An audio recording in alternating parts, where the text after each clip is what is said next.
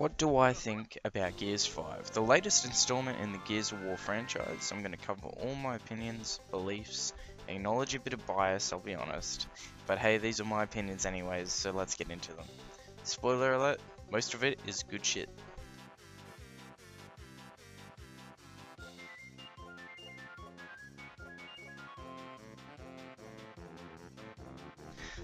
So Gears 5, it's Microsoft's latest powerhouse in platform exclusivity. It launched about a week ago now, and I'm man, I'm just loving it. I started playing Gears back on the 360 when Gears 2 came out, and since then I've been hooked. Gears War has always had phenomenal campaigns that cater to, you know, I would say a more mature audience than most shooters, because let's face it, all the gore and the story is a bit more I don't know, it's a bit more dramatic, a bit more of a soap opera, I guess. But uh, yeah, they've always been driven by a great story with awesome action sequences and at times extremely cinematic events. And that started more or less in Gears 3, where the games became more cinematic and they've evolved heavily since Gears of War 3, I'd say.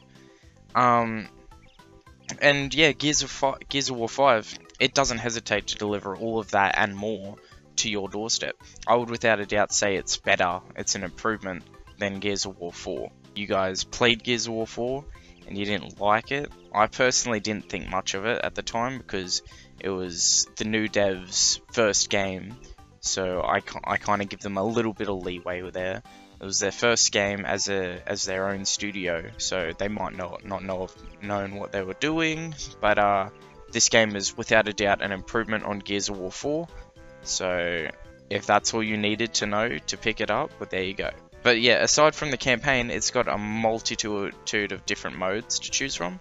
This game was packed with content on day one. Now that is so rare in today's era of gaming, and it's such a shame that that needs to be a thing. But it's at least refreshing to see that Gears steps out of that and delivers a full product. You know, we've got versus your classic PvP modes that cater to everyone uh, you know, arcade quick play, it's sort of your more chill out modes, you know, you play for fun. Casual quick play is, um, you know, it's the core Gears of War multiplayer experience, modes like TDM, King of the Hill, Arms Race, etc. You know, the mode that you play when you're training for your for your ranked, for your comp, and all that kind of stuff. And then you got ranked. You know, ranked has a playlist for each individual core mode. So it's got its own TDM mode, it's got its own King of the Hill mode, you know uh, which I thought was very similar to Halo 5. Next, we got a couple of PvE modes. I know, like, there's so much content, man, and as soon as I saw how much content was in the game, I just expected there to be campaign multiplayer horde mode. But as soon as I saw that add a whole new thing as well, I thought, man, this game has so much fucking content. This is great. I love it. But uh, we've got two PvE modes: classic horde mode.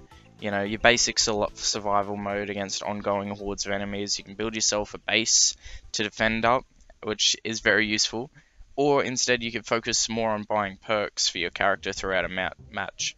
And uh, each character will do different things. So you, you might have a character that is meant to focus on building a base, or you might have a character that's meant to focus on DPS, you know, all that kind of thing.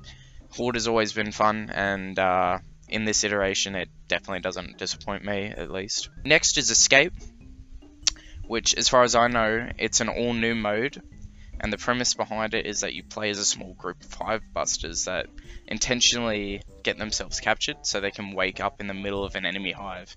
Now, I thought that was actually a really interesting concept, and uh, that's very creative as well. I thought that was great. But uh, yeah, they wake up in the middle of the hive after they get captured, and they plant a bomb to destroy the place, and that just leaves the goal to simply escape, as the title says. The mode is basically a time attack with its own leaderboards and side objectives to back it up. And, you know, I personally thought it was pretty fun the first two times playing it, but uh, they haven't released a new map yet. As far as I'm aware, I thought there was going to be weekly maps, but maybe that's going to start now that the game's released for all um, people and not just the Game Pass Ultimate and that, all that kind of stuff. But yeah, like playing the same map over and over again, it's going to get boring eventually, no matter what you do. So uh, hopefully the new maps will change that as time goes on. Um, if I was to sum it down to a few words, and uh, I'm looking at this this few words quote unquote um, and it's more of a paragraph because as I was writing this, so much just came to my head. But anyways, if I was going to sum it down to, I, I guess, a paragraph, it would be this. This game launched as a finished product, with promises of new content every three months. In today's era in gaming of releasing an unfinished product with sour promises to finish it through DLC or updates or whatever, you know, they slap the new term game as a service on it. You know, yeah, what is not to love about finally getting a game again that stands on its own two feet and runs on day one? You know, you don't have to wait a month, you don't have to wait a year for the game to be finished, for the game to feel like it can stand on its own two feet and go a mile. Gears of War 5, it can do that on day one, man. And that's what I love so much about this game. I got this next tidbit about like how today's, you know, today's era of gaming, it's just this game is such a testament to what we expect this generation of how low developers' expectations are for a game compared to how high expectations are as a consumer. And then we oftentimes just get let down by that. You know, I can name so many examples of games as a service that just just shit on a consumer by releasing an unfinished product. We got Halo 5. You know, Halo 5 re released with fuck all in it. It didn't have Forge mode day one, didn't have Infection day one. You know, so many cool modes that should have been launched. You know, added a year later. Not, you know, it's terrible. And the, and you know, it doesn't stop there. We got games like Division, games like Destiny, games like um, Fallout 76, that was a recent one. You know, all these games, they just release unfinished with quote unquote promises to finish them later. And it's just such a joke to my in my opinion. You know, it's just such a joke. But uh, this game, honestly guys, I've been getting so much nostalgia playing this game of the golden days of gaming. At least this this is my golden days of gaming, to be fair, like that back when I first started playing online, you know, as a kid in high school. 2011, in between 2011 and 2013 on the Xbox 360, you know, that was my golden era, you know, where games as a service wasn't even a thing. You know, devs didn't even have a choice to release a game unfinished because, you know, the internet wasn't the same back then and hard drive space wasn't the same back then. And, uh, you know, in a way that, it was good that we, we were so tech, technology uh, not advanced, I guess you could say, on console because it didn't give devs the option to release a game unfinished. But hey, we're here now, so what can we do? All we can do is just enjoy what we get when we get it, you know. And I love Gears so much because it's delivered a finished product. You know, I'll, I'll rate it a 9 out of 10 easy you know, that's just my opinion though.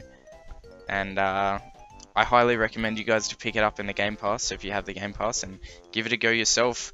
You know, whether or not you want to play the multiplayer, just I would just recommend experiencing the campaign if you want because Gears campaigns have always been a 10 out of 10 in my books. They're um, they're phenomenal. But um, like I said, guys, those are just my opinions. I highly recommend you to check it out. Check out a Let's Play even if you want to make up your own opinions. Don't let my opinion sway you or anything, but uh, they're there if you want to look at them anyway. That's me. I'm going to end, end the video now. I've been talking way too long. Go play a game. Go have fun.